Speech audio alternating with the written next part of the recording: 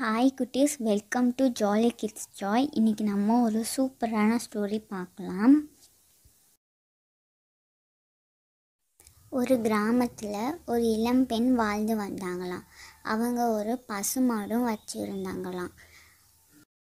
அவங்க டெய்லி பசுமாட்டில் இருந்து பால் கறந்து அதை விற்பனை செஞ்சு வாழ்ந்து வந்தாங்களாம்.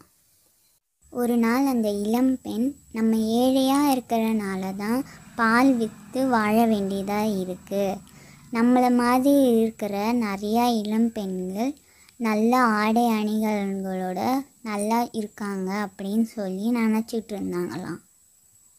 ஒரு நாள் வழக்கம் போல் அவங்க பால் கறந்து விற்பனை செய்ய போயிட்டு இருந்தாங்களாம். அப்போது வாழ்க்கை தரத்தை எப்படின்னா உயர்த்தணும்னு சொல்லி கற்பனை செய்ய ஆரம்பிச்சிட்டாங்களாம். இப்போது எடுத்துகிட்டு போகிற பாலை விற்று சில கோழி குஞ்சுகள் வாங்கலாம். அது வளர்ந்ததும் அதுங்களை விற்றுட்டு ரெண்டு ஆட்டுக்குட்டிங்க வாங்கலாம். அப்புறம் அதுவும் வளர்ந்ததும் அதுங்களையும் விற்றுட்டு ஒரு பசுமாடு வாங்கலாம்னு நினச்சிட்டு இருந்தாங்களாம். அப்புறம் நிறையா பசுமாடுகள் வாங்கி ஒரு சின்ன பால் பண்ணை வைக்கணும். அதில் நிறையா பெண்களை வேலைக்கு சேர்க்கணும். அதிலிருந்து வர பணத்தை வச்சு நான் நிறையா ஆடை அணிகலன்கள் வாங்கி சொகுசாக வாழ்வேன்.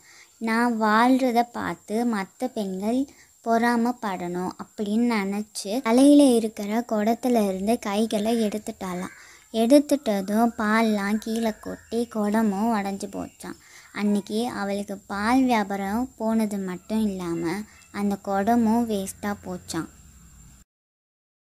ரொம்ப கற்பனை பண்ணதுனால பாலில் இருந்து பணமும் வரலையாம். ஒரு புது குடம் வாங்கணும்னு ஆயிடுச்சான் இந்த ஸ்டோரியிலேருந்து நமக்கு என்ன புரியுதுன்னா ஒரு வேலை செய்யும் பொழுது கவனம் சிதறக்கூடாது.